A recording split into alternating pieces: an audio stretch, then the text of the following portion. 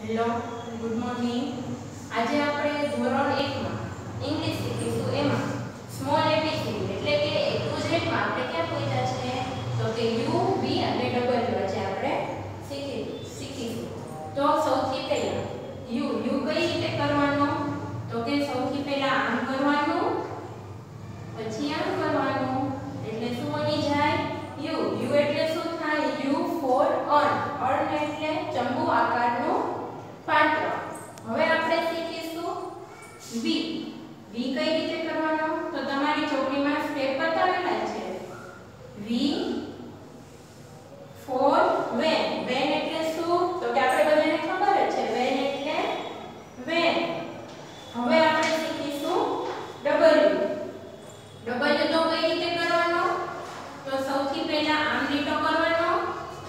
પછી આ રીતે આ રીતે અને આ રીતે.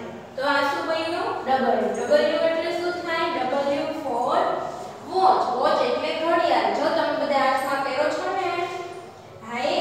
તો આજે આપણે શું શીખ્યા? યુ વી અને ડબલ યુ તો આજે આપણે હવે હોમવર્ક શું કરવાનું છે? તો ઇંગ્લિશમાં યુ